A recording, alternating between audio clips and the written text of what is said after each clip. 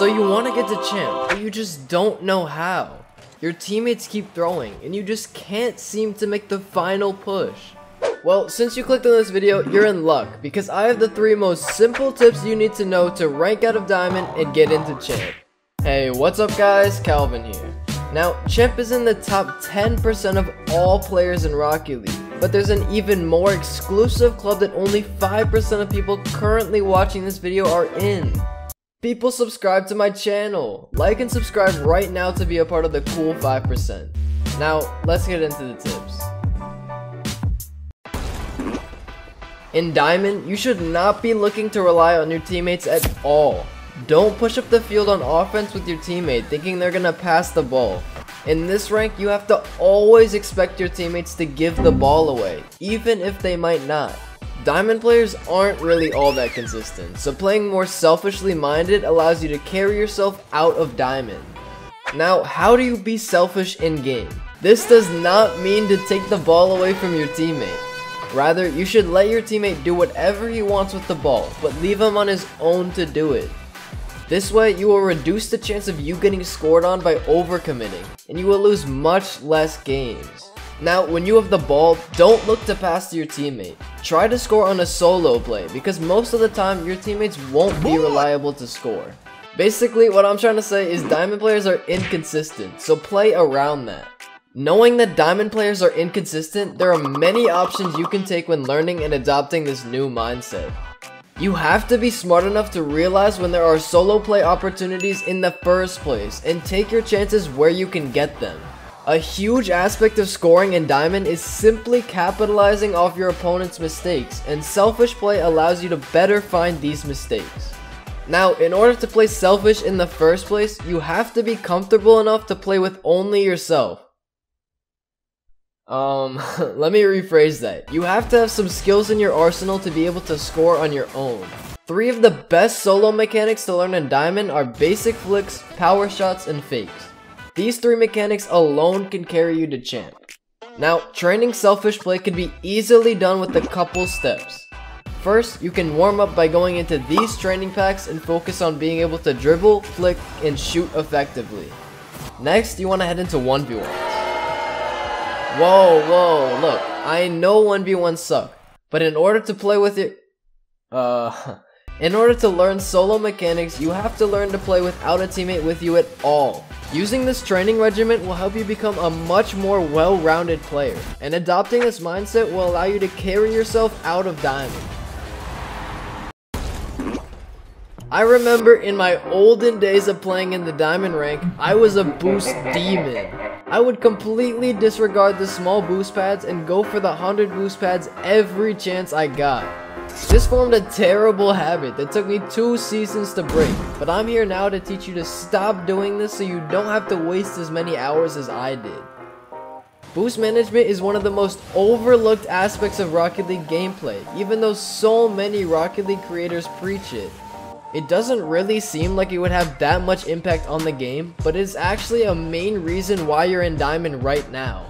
Having correct boost pathing and boost management allows you to be in the perfect position for any play, and actually gives you more consistent boost amounts throughout the game. Having boost management allows you to almost never run out of boost, so you can stop using that I had no boost excuse. Now, to learn boost pathing, you need to learn the three key paths you can take to get as much boost as possible from pads when rotating across the field. There are the vertical paths, the diagonal paths, and the hook path.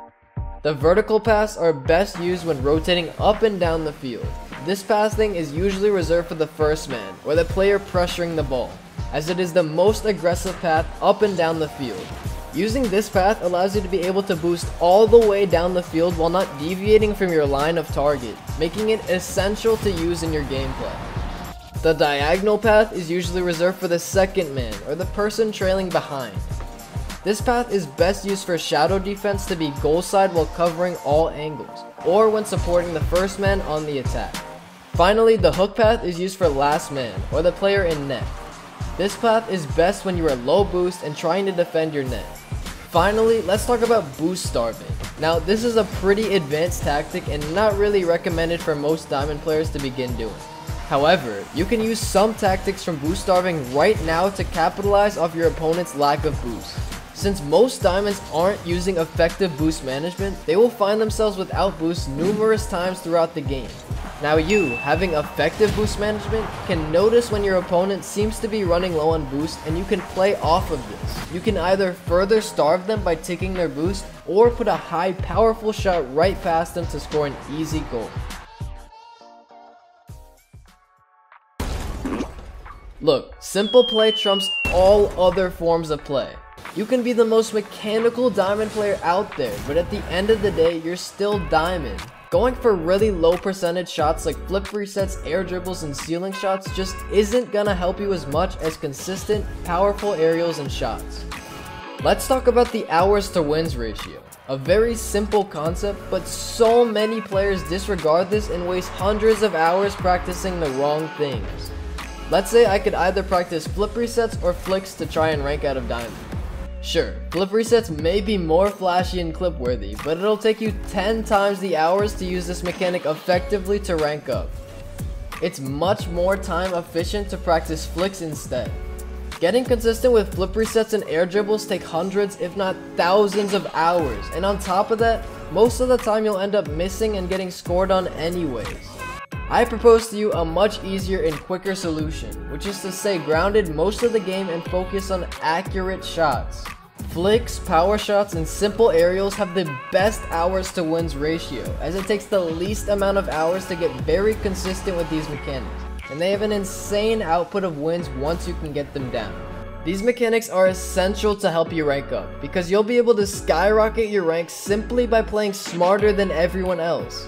Going for basic flicks and power shots reduce the chances of you overcommitting and relying on your teammate, which we already determined to be a really bad idea because diamond teammates suck.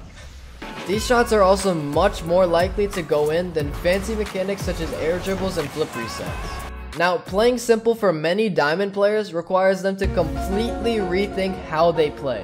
A lot of players assume they need to out-mechanic the other team, when it's just not necessary for their rank. To play simple, you need to realize three things. Overcommitting is the easiest way to get scored on.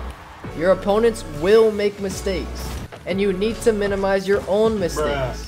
Playing simple reduces the risk of you making mistakes and overcommitting, which allows you to better read your opponent's mistakes and easily capitalize off of them. In many situations in the diamond rank, it's better to wait and let the other team play to you rather than you hard pressuring them in their half. That way, you let them make mistakes for you, and you can easily catch them out of position and score. Look, I know Diamond is hard. Trust me, I was stuck in Diamond for 3 seasons. But these tips are the best and most simple things that help me make the final push to champ. If I could do it, you can too. Thank you so much for watching. Love y'all.